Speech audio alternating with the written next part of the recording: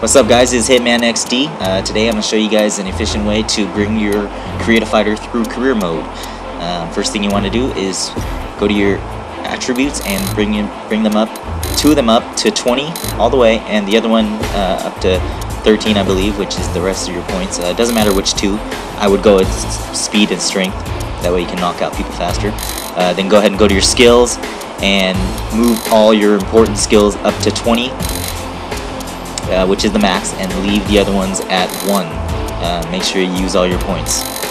I believe at the end you'll end up with one being like 13 or something, because that's just what's left over. But uh, this is important because um, your stats will decay, so go ahead and leave everything else at 1 and do the stats that you want up to 20. Uh, most of them are going to end up decaying anyways, so there's no reason to spread them out, because they'll all decay. Alright, you guys, once you're all done with that, I'll explain to you why, um, why we're doing it this way and why that's important.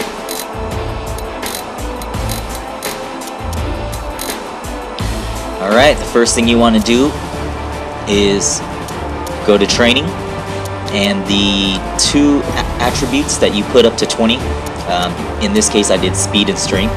I'm gonna go ahead and keep training and get one of them up to 30 and so you want to go to training. Um, I'm choosing speed here. I want to go intense to get all the way up to 30. And it's important not to go past 30 for any of the, the attributes because if you go past 30, they'll decay back down to 30 anyways. So go ahead and only go to 30. Um, of course, rest anytime you, you are your fatigue is over 60%. If it's below 60%, like at 55%, you can go ahead and uh, train or spar. But in this case, we're training. As you can see, I've, I've already done uh, my speed up to 30, and now I'm working on my training my strength up to 30. Again, it's important not to go to 31, because that'd be a waste. Just go ahead and go to 30. Rest anytime you're up 60% or above fatigue.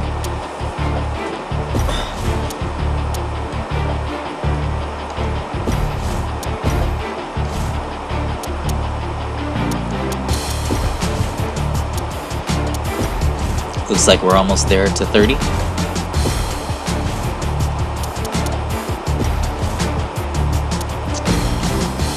And there we are. Now we have uh, two of our attributes, speed and strength, up to 30. And looks like we got one week left before the fight. Um, I'm not going to train or spar because my fatigue, that would uh, make my fatigue too high for the fight. So I'm going to go ahead and do um, a game plan which gives you 10% fatigue back and gets you ready for the next fight. At any time during this process, if you get new sponsors, go ahead and add as many logos as you can to your shorts. Um, that'll gain you uh, popularity points and sponsor points. Also, if you get any um, events, go ahead and do the events in between. As far as selecting your next fight, always go with the guy with the lowest uh, rating because that, that means your sparring will be easier. So now you have two of your attributes up to 30. Go ahead and let's get that third one up to 30, which in, in this case it's cardio. So I'm going to train um, intense and get the cardio up to 30.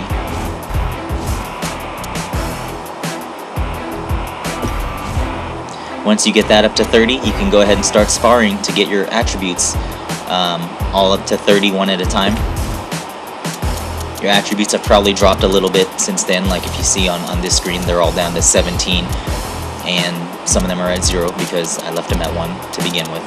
Now the most important thing about sparring is after you spar, if you don't have enough points to move a skill up to 30, um, go ahead and save your points. Do not use any because if you use it and bring one of your skills up to 25, it's just going to decline. So it's better just to leave them in your, um, save them, and then wait till you have enough to bring it up to 30. Like in this case, uh, looks like everything's at 14 and I have 16 points saved.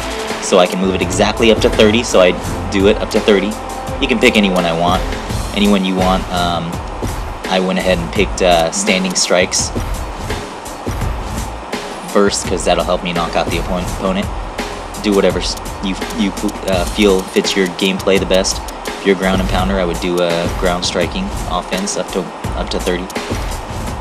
But So you're going to rinse and repeat this method, keep sparring, and saving your points until you have enough to move a single attribute up to 30. All the other ones will probably move down to zero, but it's okay. Once you get it up to 30, they won't decline, so you can start to work on your other ones. Um, you can go ahead and do a couple camps in between all this and learn just a couple moves that'll help you in your gameplay and help you defeat your fight the fighters easier. Um, as here, I am training to do a high right head kick, I believe, and you also might want to do some kind of slam, uh, like a belly to belly suplex from uh, double underhooks. So that'll help you get the fighter to the ground. But I, I wouldn't recommend doing too many moves. I would do one or two moves. Um, sparring, a couple tips for sparring is you get points for number of strikes you land and you get subtracted points for the number of strikes that he blocks.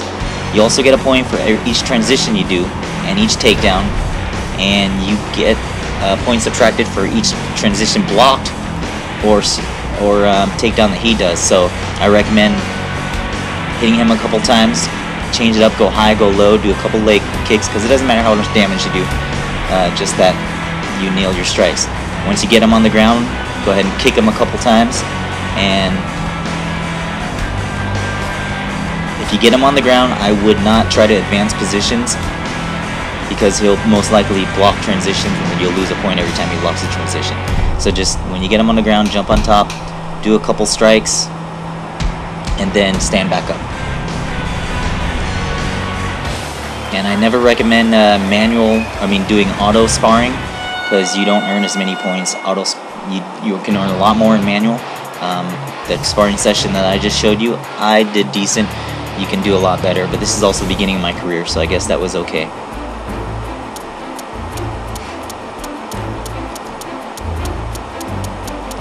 So after the sparring, you see how many points you earned. If you have enough to move a skill up to 30, go ahead and do it. If you don't, save your points. In this case, looks like I'm going to move a takedown offense up to 30 because I want to be able to take the guy down and ground and pound him a little bit.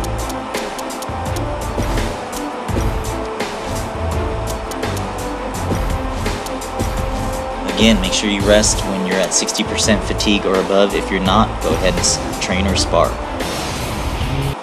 Keep repeating until you reach this, which is uh, you get to increase your cap on either your training or your sparring.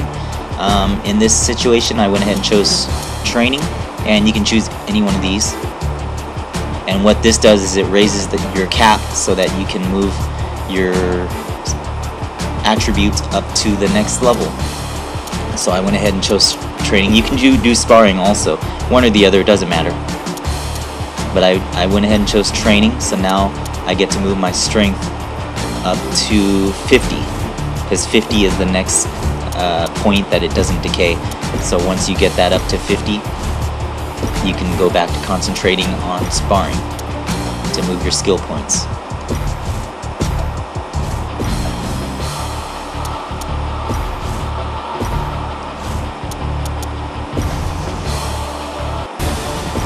and then uh, that's pretty much it you keep repeating this remember, remember to stop at 30 50 and 70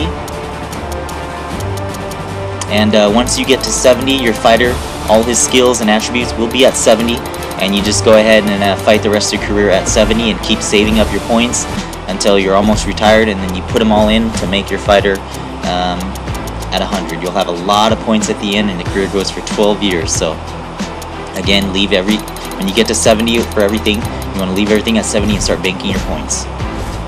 And uh, that should be it. If you guys have any questions or suggestions, uh, go ahead and post a comment, send me a message. Uh, this is Hitman, and I'm signing off. If you guys like my videos, subscribe. Thanks for watching. See you guys next time.